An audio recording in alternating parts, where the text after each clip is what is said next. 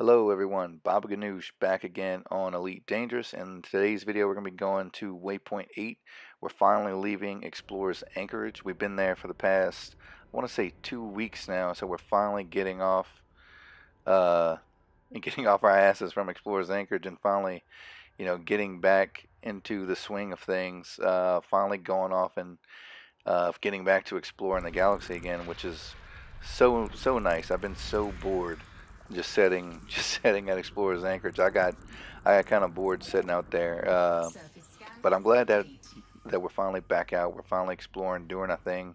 Um, these these uh, first three systems that I show off, they're actually a cluster in the same kind of vicinity of the galaxy, I guess. Uh, there's one called the Epsilon, uh, from as you see here.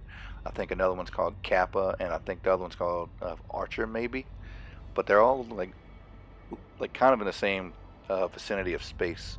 So there's a couple of, of these nebulas like you see here. I'm actually going to show you from the galaxy map because the galaxy map actually gives you a, a pretty good uh, detailed view of, of, of what these uh, nebulas look like. Um, I guess from a space perspective, if if I can say that, like a third person space perspective looking in on, on the galaxy map, they're, they're pretty accurately depicted um, but I mean, obviously, you know, as you see, uh, you know, like you being in system, it looks a little different. But I think it's cool seeing it from the uh, Galaxy Maps perspective of everything. Like you're looking from the outside, looking in on them, and they do a good job of showing you what they look like uh, as a whole. So uh, usually, whenever I I uh, drop in on these things, I like to show them from the uh, Galaxy Map point of view to kind of give you guys a like kind of an insight of how they look um, overall because I'm only showing you the view from from uh, one one uh, set of space in a system. So I mean, sometimes I go in a galaxy map and and and kind of give you a full view of it. So.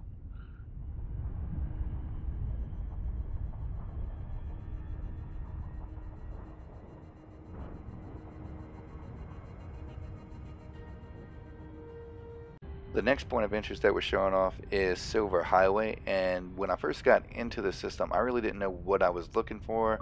I didn't know what was special about it until I joined that party and I, I started asking questions. You know, I was like, you know, what's so uh, special about this system? And one of the guys pointed out to me that there's a planet within like almost the asteroid rings orbit of a different planet right next to it and uh, he told me to go check it out and i figured i would go land on said planet just to see how close that asteroid belt is to the planet. Pretty fucking close. As you can see here i'm cruising around up in an srv i docked basically in in sight of the asteroid belt. Um, i'm pretty positive that if if like there was a mountain high enough i could probably get into orbit and fly my srv into that belt right there but obviously I didn't want to try that. I don't want to. I don't, want to lose my SRV, but but yeah, I mean, uh, this is a pretty amazing site. So.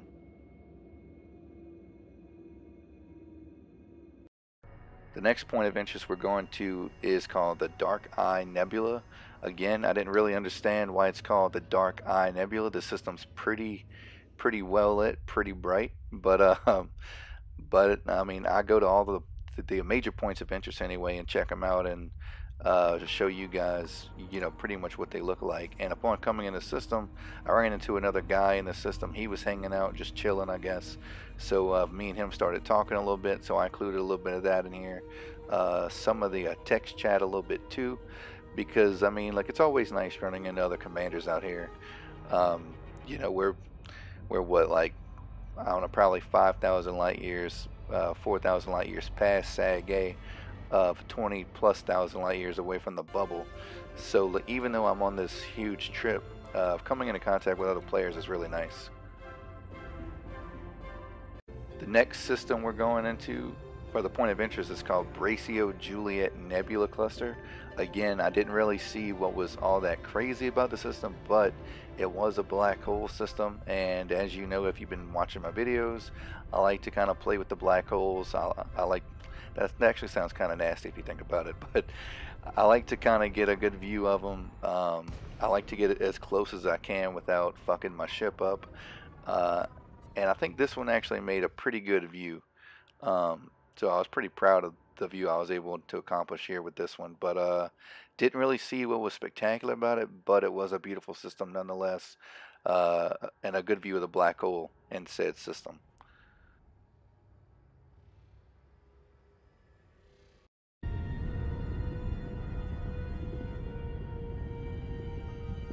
So the next point of interest we're going to be hitting up is the Breakthrough Echoes, point of interest number 8. And yet again, upon entering the system, I had no clue what was spectacular about it. I didn't know what the deal was. And yet again, I started talking with the guys in chat, and one of them pointed out that the system has two, I think it's two uh, water worlds and an Earth-like, all within the, the same kind of vicinity of uh, one another.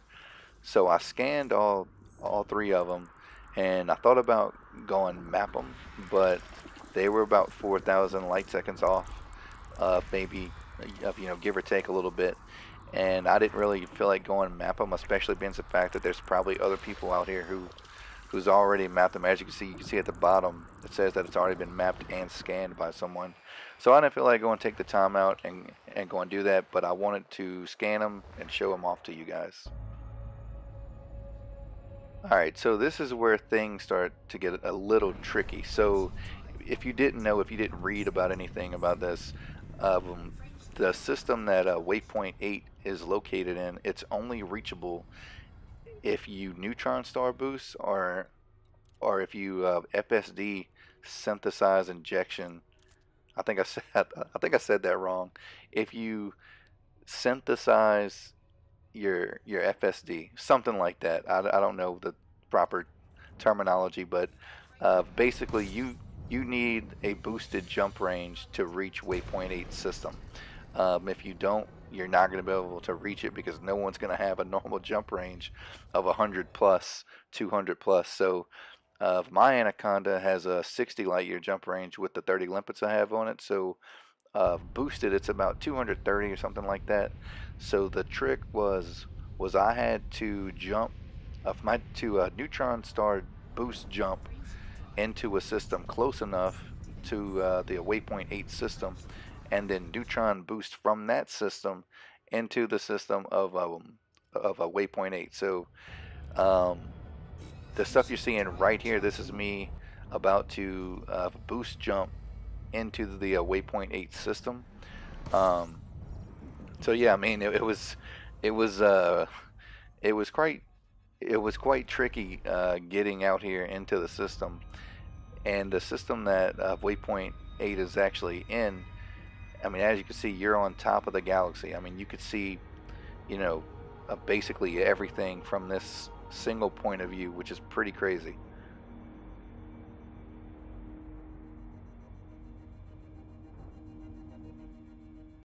So here we are at base camp for waypoint 8 called Goliath's Rest. This is actually some footage of me trying to pinpoint the coordinates down of base camp. It took a little doing.